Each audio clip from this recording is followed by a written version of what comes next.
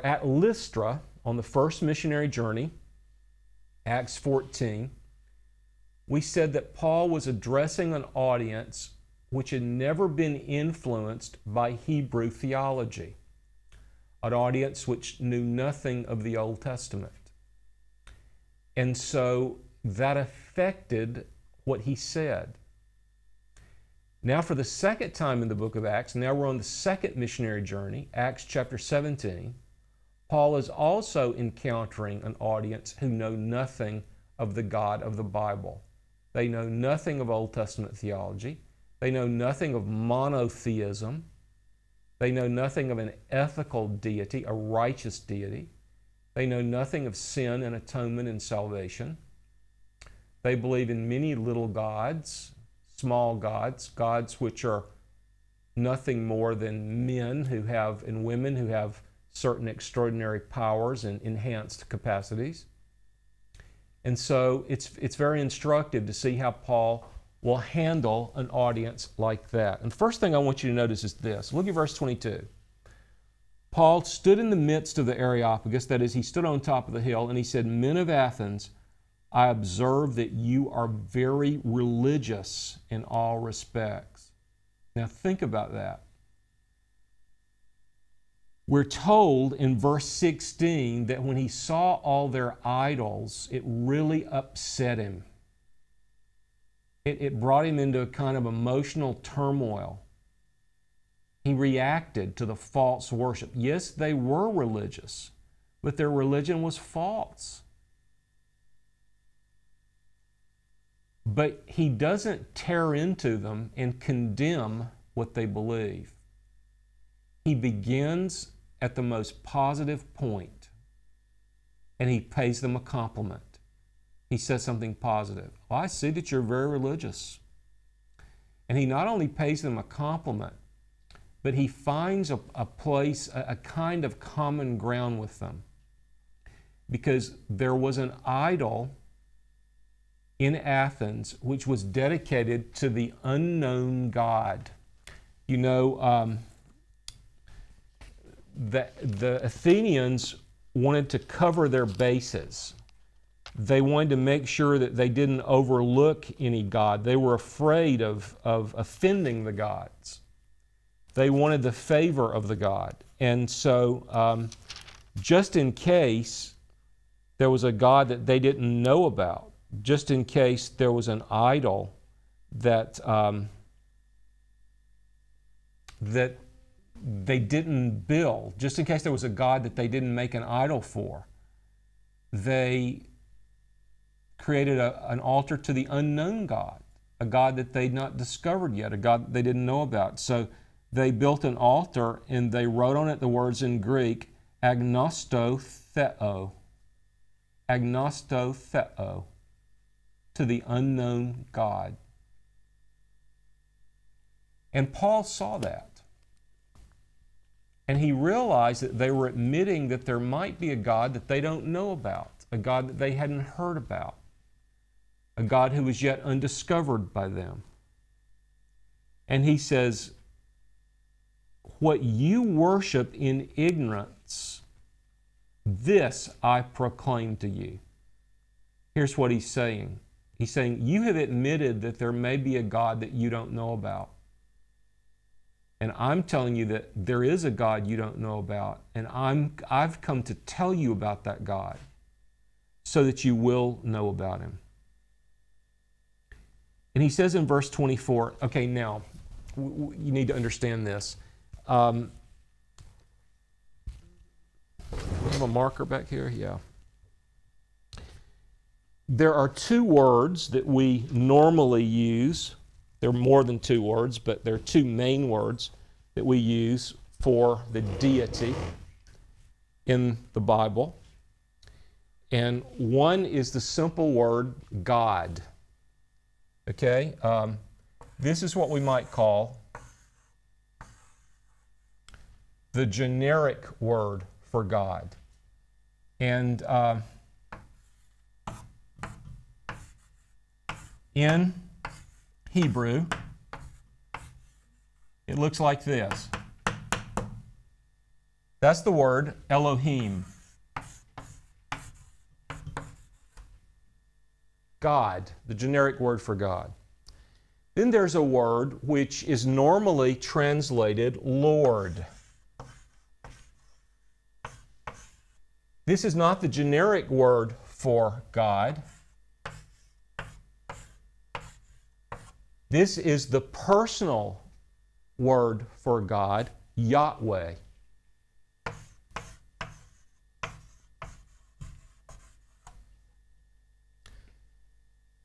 Yahweh is the personal, covenant making God of Israel. God, Elohim, is God the Creator. Yahweh is God the Father. Elohim is God the Creator. Yahweh is God the Redeemer the God who saves, the God who enters into a personal relationship with us and who brings us into his family. Now, if Paul is preaching to a, Judea, to a Jewish audience, they know about Yahweh. They know about sin. They know about holiness. They know that there's only one God. They know that you can have a relationship with God. They know that God has given us a law. They know that God has sent prophets. They know that God has promised a Messiah. But the Greeks do not know this God. They do not know Yahweh. They've only heard of Elohim, and the Elohim they know about, the God they know about, is not Elohim. It's not the God of the Bible. They only know about little bitty gods who have little bitty capacities and who do little bitty things. They only know about a God who works in little corners, little areas, little, little oblasts, little districts. And so Paul has to tell them about a God that they don't know anything about. He tells them about a God who made everything. That's a new thought for them. He understands that they don't realize what God is. Um, in 1990, I came to Moscow and met with a young man whose father had been a diplomat in Canada. He lived in Canada for seven years. He spoke perfect English. And supposedly, he had become a Christian or he had prayed to receive Christ when a team of athletes had come in about a year before. He was a baseball enthusiast. Hardly anybody in Russia knows anything about baseball. This young man knew everything about American baseball. He knew a lot more about it than I do. And he'd been attracted to these athletes and he had prayed to receive Christ with them. But while, while I was meeting with him, I was doing what we call initial follow up somebody has become a Christian. So now you're talking them about their Christianity, helping them to begin to grow in their faith. I said something about prayer, and he stopped me and he said, Can you tell me again what prayer is? And then later in the conversation, he said, Can you tell me what God is?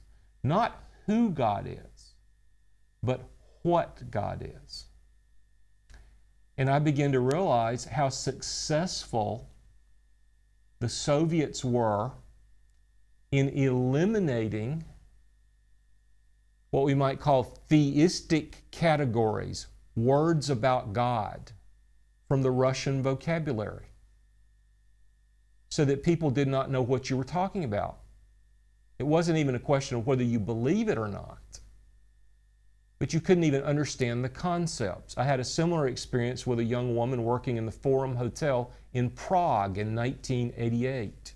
She spoke perfect English. This is during the Soviet period when Czechoslovakia was communist. She spoke perfect English. But when I tried to speak to her about God, she did not know what God was. She did not have that concept in her thought world. Well, the Athenians, when they thought of God, they didn't think of one God who made everything. That thought that was not in their thought world. They could not conceive of that. Paul understands that. So he begins to speak to them about the God who made the world and all things in it. Now, the Greeks were very prideful. And they actually, the Athenians actually, actually believed that God made, that the gods made them especially, and that the gods made them different from everybody else. We're going to see something about that in a minute. And they were also very proud of their temples, their beautiful temples, like the Parthenon.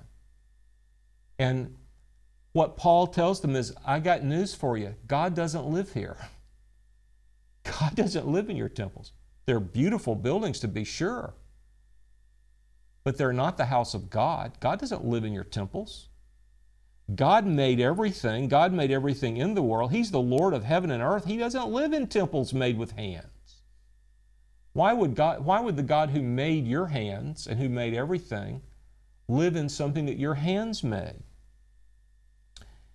He is not served by human hands. He doesn't need anything. Now, verse 25 says, He gives to all life and breath. In other words, He not only made us, but He sustains us. He keeps us going.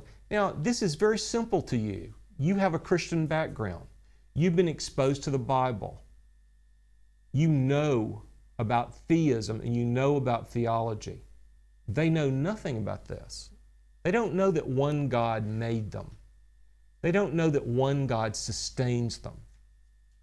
And you may have classmates or you may have neighbors in the places where you live who also don't know that. And you need to work hard to speak their language, to get down on a level where they are, and don't assume that they know the things that you know. Not only do they not believe the things that you believe, they don't even know about the things that you believe. So you have to tell them about those things. That's what Paul, the master apologist, the master missionary theologian, that's what he's doing in Athens, and we can learn from him. We're going to talk more about that in just a moment. Now, the Athenians believed that they were a special creation, that they weren't like everybody else. But look what Paul says. Verse 26 God made from one every nation of mankind to live on all the face of the earth. So we all came from one ancestor. His name was Adam. And we should seek this God we should try to find this God. And, you know, in verse 27, he uses, you know, the most famous Greek myth was the story of the Iliad and the Odyssey. The Iliad is the story of the 10 years of fighting at Troy. The Odyssey is the story of how one man who fought at Troy took 10 years to get back home. That man's name was Odysseus or Ulysses he gets trapped by a one eyed monster called the Cyclops. He tricks the Cyclops and he blinds him. And so the Cyclops can't see him. He got the Cyclops drunk and he got a sharp stick and he drove that stick into his eye. But he was still trapped in the Cyclops cave.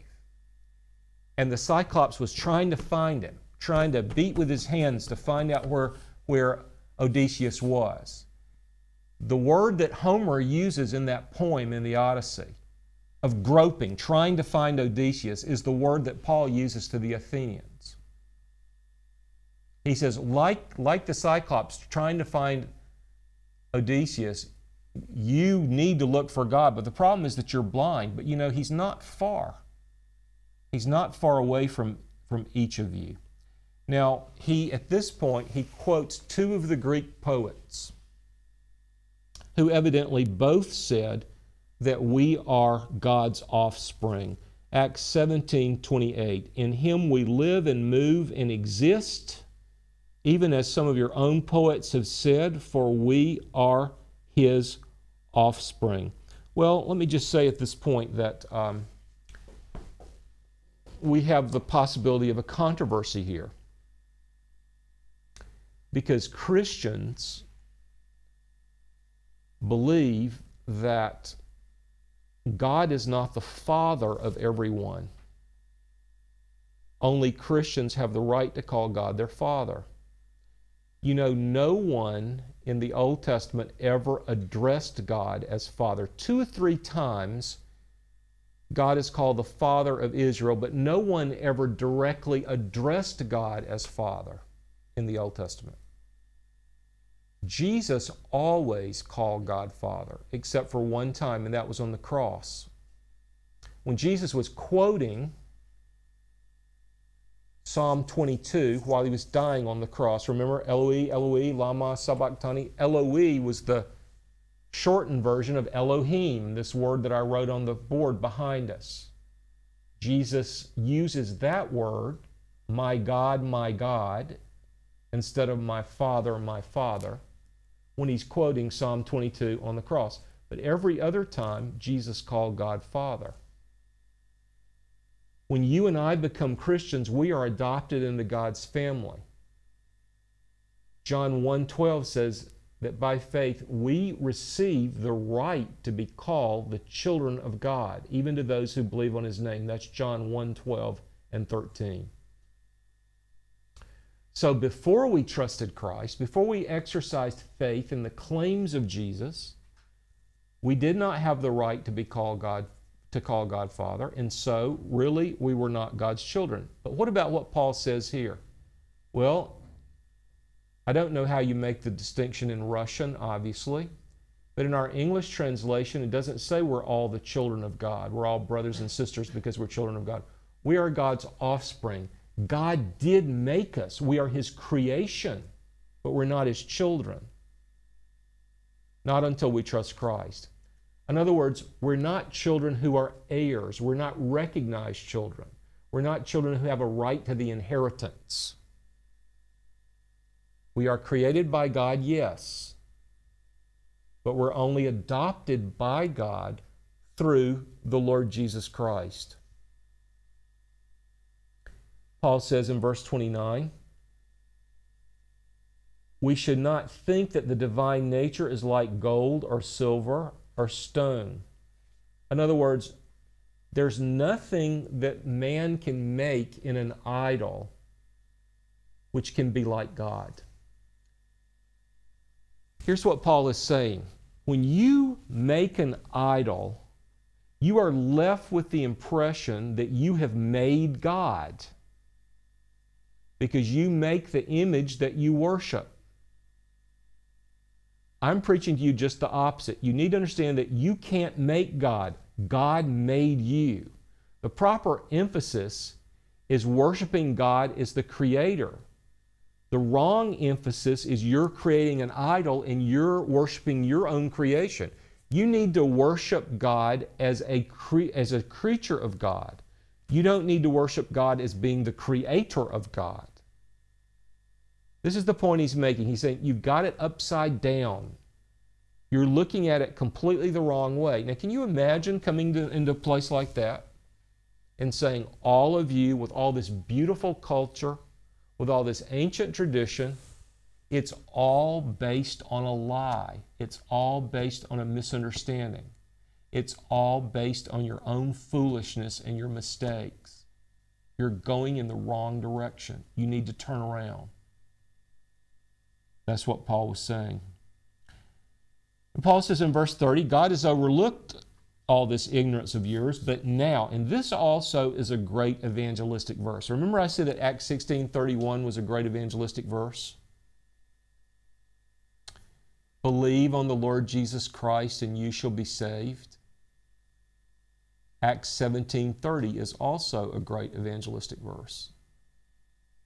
God has declared that all men everywhere should repent. And so that's what he's telling the Athenians.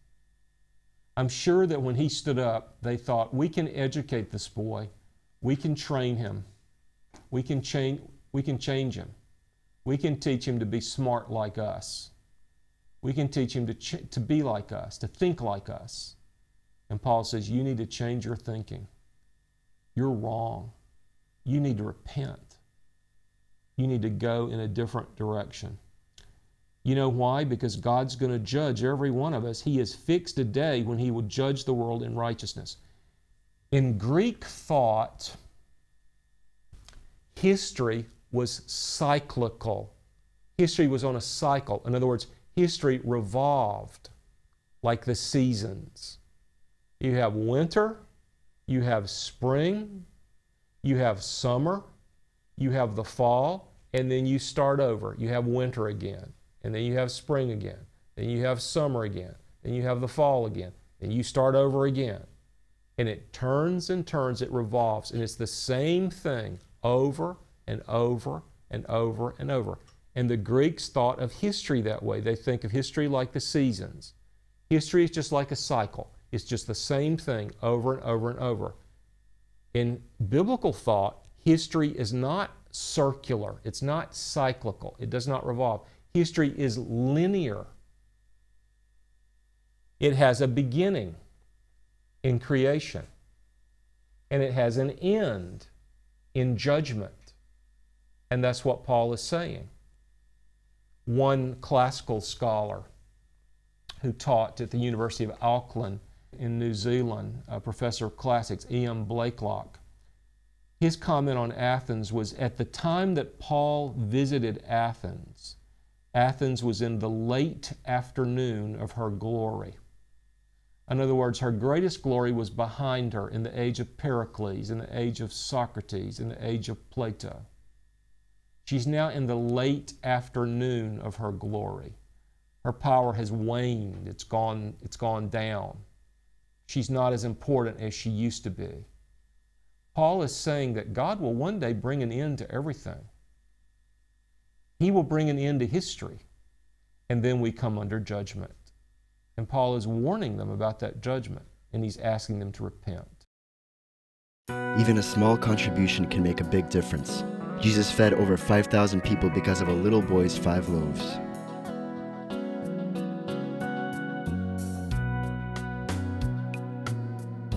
Regardless of the amount, your contribution is very important and greatly appreciated. Visit us at www.tvseminary.com. Paul has just informed the Athenians that history is indeed linear because history will come to an end. And it will come to an end in judgment, God's judge, righteous judgment upon every human creature. Well, what will be the standard of judgment? Well, the standard of judgment will be the degree to which every man and woman has lived up to righteousness. Well, what is the standard of righteousness? How do we know what righteousness is? What is our um, what is our base of orientation? How do we know what's up and what's down, what's right and what's wrong? Well, the way we know is through a man. God sent a righteous man to fulfill righteousness, to establish a final standard of righteousness which even law could not establish, and to give us the power to grow toward God's righteousness. Well, how do we know that this man is God's representative and God's standard. We know because this man, alone among all men, was raised from the dead. Well, wait a minute. Wasn't Lazarus raised from the dead? Wasn't Dorcas raised from the dead in chapter 9? Well, they were all resuscitated only to die again later. This man was raised to life forever, never to die again. This man is God's appointed standard of righteousness. This man is the way that God will judge the world. Now, verse 32 says that when they heard of the resurrection of the dead, they began to sneer and to mock. But others said, Let's talk about this some more. But some believed. And Luke names two believers, a man and a woman, who came to faith that day. One was named Dionysius, and the other was named Damaris. Okay, that ends Acts 17, but we need to talk about it in a minute. You must understand that among Christian teachers and students, there's a bit of a controversy. And the controversy is this. Some people say that the apologetics of Paul in Acts 17 are flawed, that he did the wrong thing, that he, he had the wrong emphasis, that instead of just preaching the gospel, he fell into a philosophical analysis and a philosophical discussion. They say that there wasn't a church planted in Athens. And the reason there wasn't a church planted in Athens was because Paul had a poor missionary approach which did not leave a church. They strengthen this argument by pointing out some things that Paul wrote to the Corinthians. Um, because the next place that Paul goes in chapter 18 is Corinth. And in 1 Corinthians, Paul talks about the way he preached in Corinth. And he talks about the fact that, that when he preached, um, he didn't preach the world's idea of wisdom. He talks about this in um, beginning in 1 Corinthians 1:20. He talks about the debater and the scribes, the wise men, really the philosophers. And he says, you know, God didn't establish the gospel through the wisdom of men. He says the Greeks are searching for wisdom, the Jews are looking for signs, but we preach Christ. So he says, you know, when I came to you, I preached Christ. Now, the suggestion is this. In, in chapter 2, verse 2, he says, I determined to know nothing among you except for Jesus Christ and Him crucified which is God's wisdom. And so there's the suggestion that Paul is regretting that he's comparing the way he preached in Corinth to the way he, he preached in Athens. That maybe I did preach man's wisdom in Athens, but I realized that that really won't work. So by the time I got to Corinth, I, I got it right. This is the argument. Let me say that even though some tremendous scholars have made this argument, beginning with Sir William Ramsay, one of the first great Pauline scholars into the 19th century. Um, I don't think it's a good argument. We also talked about the argument that Paul did the wrong thing in dismissing John Mark from the team after the first missionary journey, before the second missionary journey at the end of Acts 15. And I tell you that I don't think Paul did the wrong thing by doing that. So there, there's a school of New Testament interpretation which is fond of saying Paul did the wrong thing here and he did the wrong thing there. Uh, in chapter 18, he shaves his head because he kept a vow. And there are some who say, well, he did the wrong thing there. He has Timothy circumcised later, and they say, well, he did the wrong thing there. So there's a certain way of approaching the career of Paul where we second guess him and we criticize him and we say, well, he shouldn't have done that. He should have done it a different way. Let me just say that I'm not convinced. I don't think it was a part of Luke's purpose to show the mistakes that Paul made. We know that Paul did make mistakes. He was a man, he was a human creature. Only Christ did not make mistakes. But I don't think the purpose of Luke's writing was to highlight or emphasize the mistakes of Paul. As far as this business of there not being a church in Athens uh, established as a result of that sermon, or um, as, as far as the whole question of uh, the response to the sermon and whether it worked or not, uh, we are told that there were three different responses. Some people criticized him, some people laughed at him. Some people said, let's talk some more about it. We'll discuss this subject again. And some people believed. What's wrong with that? I mean, isn't this the normal experience that we have when we preach the gospel? Sometimes we preach the gospel and nobody believes. There were converts made as a result of that sermon. It was an appropriate sermon because Paul had to address the categories that they had misunderstood. He had to show them how their philosophy was wrong. It was a bold sermon, it was a courageous sermon. He told them about the resurrection, something that was foolishness to their philosophy. He told them that they were going to be judged through the righteousness of Christ. That's the gospel. That there would be a judgment and that their eternal destiny would be determined on the way they responded to Jesus. No, I think when Paul talks about the different ways that he could have preached the gospel in Corinth, in 1 Corinthians 1 and 2, he's not contrasting his preaching style with the way he had preached in Athens. He's contrasting his preaching style with the way the Corinthians wanted him to preach.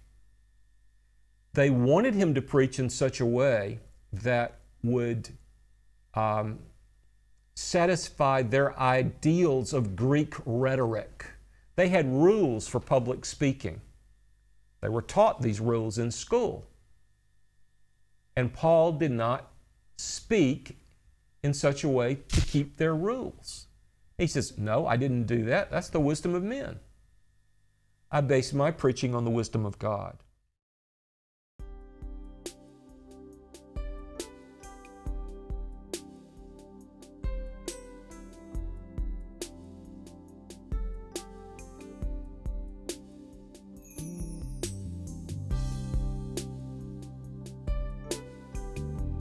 Now he who supplies seed to the sower and bread for food will also supply and increase your store of seed, and will enlarge the harvest of your righteousness. You will be enriched in every way, so that you can be generous on every occasion, and through us your generosity will result in thanksgiving to God. 2 Corinthians chapter 9 verses 10 11. How to give to TVS Ministry. You may give online at efca.org/give now in the description place, write Russia Distance Learning account number 24109-0150. Or make checks out to EFCA. Write on the check memo line Russian Distance Learning account number 24109-0150. Mail to EFCA Donor Services, 901 East 78th Street, Minneapolis, Minnesota 55420-1300 or send your gift through PayPal for tvs.gift at gmail.com.